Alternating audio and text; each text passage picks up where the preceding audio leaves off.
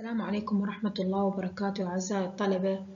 محاضرتنا اليوم عن الميوتيشن الطفرات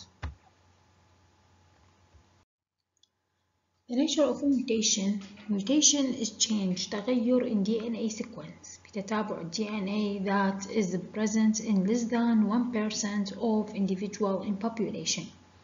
يوجد نسبة واحد أقل من واحد بالمية من الأفراد بالسكان. is the process عملية of altering a DNA sequence. Mutation range in size from alteration of single DNA base to deletion or duplication or uh, of tens, hundreds, thousand or even million of bases. هي عملية تغيير بتتابع ال DNA. الميوتيشن يتراوح بالحجم من تغيير قاعدة واحدة إلى حذف أو تضاعف عشرات آلاف مئات أو حتى ملايين من القواعد.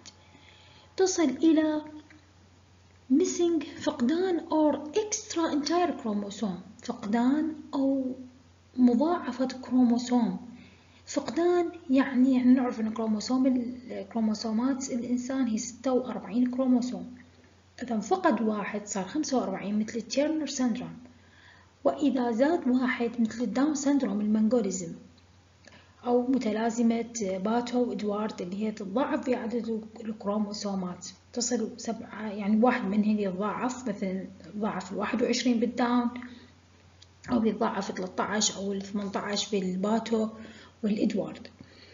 ال mutation can affect any part of the gene. تأثر بأي جزء من المادة الوراثية. Include يتضمن sequence التتابعات ال encode المشفرة للبروتين يعني نقصد به الجينات or control transcription in intron repeats and site critical to intron removal and exon splicing the effect of a mutation يعني تأثير الطفرة يختلف فالميوتيشن may impair a function تضعف الجين أو تمتلك أو يكون no effect بدون تأثير أو beneficial يكون تأثيرها نافع أو يكون harmful mutation تأثيرها ضار can stop or slow production or of protein overproduce يعني أما تقلل من إنتاج البروتين أو توقف إنتاجه أو ينتج إنتاج مفرط من البروتين. أو تضعف من البروتين فانكشن من وظيفة البروتين مثل such as altering تغير من secretion phrase أو location or interaction with another protein single nucleotide polymorphism أكو فرق بين الميوتيشن وبين السنب اللي هو single nucleotide polymorphism اللي هو تغيير هنا بسنجل بيس تشين change يعني تغير بقاعدة مفردة واحدة. هناك بال mutation قلنا تغير بقاعدة بعشرات بمئات بملايين من القواعد إلى تغيير كروموسوم كامل احتمال ينفقد أو يتضاعف ال SNP تختلف. هي أيضا mutation بس من نوع خاص فما أسميها mutation أسميها SNP ليش؟ لأنه هو تغير بقاعدة واحدة. نسبته more than 1% of population أكثر من واحد بالمية من الأفراد. ال mutation تأثيرها ضار أكثر ال mutation هي تأثيرها ضار صح إحنا كنا أكو ما بها طفرات مو effect وأكو بعضها مفيدة لكن معظمها هي تأثيرها ضار لكن ال polymorphism يكون harmless. نجي على مصطلحين. مصطلح ال mutation ومصطلح ال mutant ال mutation to refers to دل على ال genotype. يعني شنو ال genotype؟ يعني النمط الجيني. النمط الجيني هو التغير بال DNA أو كروموسوم يعني على مستوى DNA على مستوى كروموسوم يعني أي تغير يطرأ على الجين. okay؟ لكن ال mutant ال mutant هو التغير اللي يطرأ على النمط المظهري. النمط المظهري. شنو ال genotype وشنو ال phenotype؟ genotype ركزوا عليها هذه هو تغير بال DNA أو بالكروموسوم. فكل genotype كل تغير جيني مو شرط مو شرط إنه يظهر بتغير مظهري. لكن كل تغير مظهري phenotype لابد إنه يكون أكو سابقة genotype تغير جيني. هاي ركزوا عليها. يعني أجيب لكم إياها صح وغلط نجي هنا هسه. ال mutation has been essential to life. نقول ال mutation ضرورية للحياة. أكو بعض ال mutation تكون ضرورية للحياة. شنو السبب؟ هذا عندكم سؤال وجواب. Because it produce individual with variant phenotype. يعني تنتج فرد بنمط مظهري مختلف. يجعل شنو؟ survive a specific environmental challenging. Include illness. يعني يجعله قادر على أن يتحمل الظروف البيئية و والأمراض. طبعا هسه عندنا عدد من الطفرات اللي هم هسه أربع طفرات. أنا ذاكرت لكم إياهم اللي هي أبو ليبوبروتين وهي طفرة تصيب الإنسان تزيل الكوليسترول من الجسم بشكل أساسي.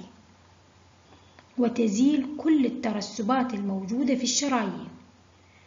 رجاء قبل ما أكمل ورقة وقلم وأكتبوا الكلام اللي دا أقوله. هذا واجب بيتي وحسوي لكم بامتحان فكلكم تكتبوه.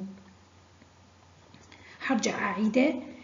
الأبوليبوبروتين هي طفرة تصيب الإنسان.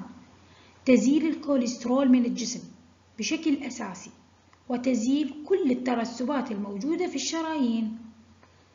وتعمل كمضاد للأكسدة وهو ما يفيد الإنسان كثيرا. وبالتالي فإن هذه الطفرة تزيد العمر الافتراضي للإنسان لأنها تقلل نسبة إصابته بالتجلطات في الشرايين وتقلل كثيرا نسبة الإصابة بالنوبات القلبية. نجي على الطفرة الثانية اللي هي increase bone density يعني طفرة زيادة كثافة العظام. هذا عندنا على الطفرات المفيدة. وهي طفرة تصيب الإنسان وتزيد كثافة العظام بشكل ملحوظ وبالتالي تقلل كثيرا نسبة الإصابة بمرض هشاشة العظام وتعطي الإنسان قوة وتحملا للأعمال الشاقة. الطفرة الثالثة هي طفرة مقاومة الملاريا. ملاريا ريزيستنس هي طفرة تصيب بروتين الهيموغلوبين في الدم ال HBS وتغير شكل خلايا الدم الحمراء لتحولها إلى منجلية الشكل. طبعا هي هنا إيش هاي الطفرة؟ سيكل سيل أنيميا مرض الخلية المنجلية. هو أصلا هو مرض. لكنه هذه هذا المرض يقي المصاب منه من أن ينصاب بالملاريا. وهذا يعمل على مقاومة جسم الإنسان لمرض الملاريا الذي يسببه البعوض. الطفرة الثالثة اللي هي تتراكروم تتراكروم فيجن هي طفرة تكسب مصابيها قدرة عالية على الرؤية أي إنها تجعلهم قادرين على رؤية الكثير من الألوان. التي لا يستطيع الإنسان العادي رؤيتها. وبالإمكان المصاب الرؤية مثل الطيور والسلاحف. ومن المصابين بهذه الطفرة الرسام الرسامة المشهورة كونسيتا أنتيكو Mutation may be present in all the cell of individual or just in some some cell. Germline طبعا mutation موجودة بكل الخلايا وطبعا إحنا عندنا نوعين من الخلايا اللي هي germline cell و somatic cell. يعني الخلايا الجنسية والخلايا الجسمية. germline mutation. هو change التغير الذي يحدث ديون خلال ال DNA replication خلال عملية تضاعف ال DNA. تضاعف ال DNA قبل ال meiosis. شنو ال meiosis؟ ال meiosis هو الانقسام الاختزالي يعني اللي تختزل بها عدد الخلايا إلى النصف.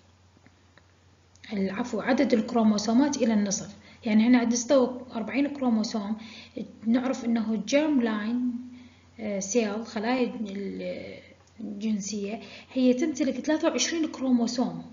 فصارت 23 كروموسوم عن طريق الانقسام ال meiosis الانقسام الاختزالي. فتنتج جميتات. فال mutation اللي يصير بأثناء عملية DNA replication تضاعف ال DNA قبل حدوث ال meiosis حتنتج جميتات تحتوي هاي الطفرات. وبالتالي كل ال body أو كل خلايا الجسم حتكون حاملة للطفرة. لكن عندنا النوع الثاني اللي هو ال somatic mutation الطفرات الجسمية. اللي تحدث أيضا خلال عملية ال DNA replication لكن قبل ال mitosis. شنو ال mitosis؟ هو الانقسام الخيطي اللي يحدث بكل الخلايا الجسمية. طبعا كل الخلايا اللي هي descend تنحدر من ال original changed cell or altered. يعني كل الخلايا اللي تنحدر من هاي الخلية الطافرة حتكون هي طافرة. وهي طبعا يصيب جزء معين من الجسم. مثلا إذا خلية إذا انصابت خلية صار بها طفرة أحد خلايا الكبد ففقط الكبد هو اللي حيتضرر. أو فقط الخلايا اللي حتنحدر من هاي الخلية الطافرة هي اللي حتكون متضررة وبالتالي حيتمركز الضرر بالعضو اللي انصاب بهذه الطفرة. Source of DNA damage. مصادر الطفرات. طبعا مصادر الطفرات تنقسم إلى مصدرين. اللي هي endogenous damage اللي هي طبعا طفرات تلقائية تحدث من ال metabolic byproduct طفرات تلقائية بالجسم وال exogenous damage هي طفرات خارجية external agent طفرات خارجية وتكون induced mutation يعني طفرات مستحثة. فأما تجي من ال UV أشعة ال UV اللي تجي من الشمس or uh, other radiation إشعاعات أخرى مثل ال X-ray وال gamma ray تجي من بعض ال plant toxin من السموم النباتية أو حتى السموم الفطرية أيضا من ال thermal disruption تجي من human made mutagenic mutagenic يعني عوامل طافرة كيميائية من صنع الإنسان. تجي من الفيروسات تجي من ال cancer chemotherapy وال radiotherapy. طبعا هو ال chemotherapy وال radiotherapy هي علاج لكن بنفس الوقت هو مطفر